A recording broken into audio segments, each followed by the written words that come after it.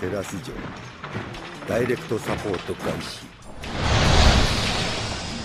やや